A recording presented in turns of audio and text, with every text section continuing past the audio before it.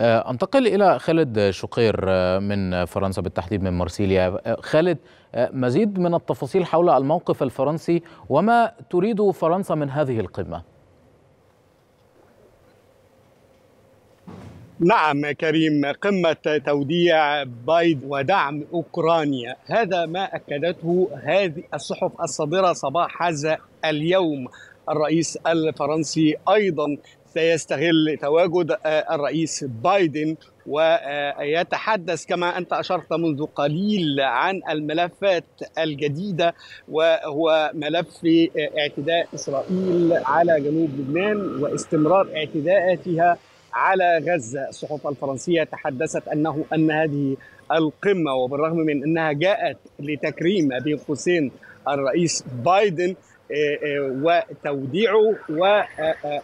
والاتفاق على هذا الملف الذي يجمع القارة الأوروبية، القارة العجوز جميعها باستثناء المجر والولايات المتحدة الأمريكية فيما يخص أوكرانيا وتقديم الدعم لأوكرانيا، لأن القمة الأوروبية الأخيرة التي كانت بالأمس افردت كريم الكثير من الخلافات، هذه الخلافات تتصدر المشهد اليوم وبصفة خاصة أن الولايات المتحدة الأمريكية تشارك ألمانيا وألمانيا تشارك الولايات المتحدة الأمريكية في تقديم الدعم لإسرائيل وهذا ما ترفضه دول أوروبية من بينها مثلا إيطاليا وإسبانيا وأيرلندا وأيضا الرئيس الفرنسي الذي بالأمس فقط تحدث على أن الجميع يطالب إسرائيل بوقف الاعتداءات والحرب سواء على غزة أو لبنان وأن هذا لا يعقل مع استمرار تقديم الدعم العسكري. والرئيس الفرنسي مع توفير الحماية لإسرائيل والأمن لإسرائيل على حد قوله ولكنه تحدث بالأمس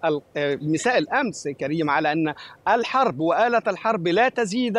إلا أو لن تنتج لأمن إسرائيل أو لم تأتي بالأمن لإسرائيل ولكنها ستزيد الحرب اشتعالا والحرب يمكن أن تكون حرب إقليمية. اذا هذه الظروف وبصفة خاصة بعد الإعلان عن خبر وفاة يحيى السنوار تفرض نفسها على هذه القمة التي هي في الأساس هي قمة لتوديع وتكريم الرئيس بايدن وسط حالة الترقب التي تنتظرها أوروبا وبصفة خاصة خوف من عودة الرئيس ترامب مرة أخرى إلى البيت الأبيض. ولهذا هذه هي الأجواء السائدة في هذه القمة يبدو أنها ستكون قمة توديع وقمة تأييد لأوكرانيا وأيضا محاولة لملمة الخلافات ألا وهي الخاصة بمنطقة الشرق الأوسط وإيجاد حلحلة لهذه الفوارق في المواقف التي تتفق جميعها على أهمية الأمن توفير الأمن لإسرائيل ولكن فرنسا تقود الدول الأوروبية التي تحاول عدم مد إسرائيل حتى لا تزداد الأمور اشتعالا وفرنسا ستحتضن بعد أيام قليلة قمة خاصة لدعم لبنان ولهذا يعمل الرئيس الفرنسي اليوم في من خلال هذا اللقاء حسب الصحف الفرنسية لإظهار وجهة النظر ومحاولة إيجاد حلحلة وحل وسط نعم.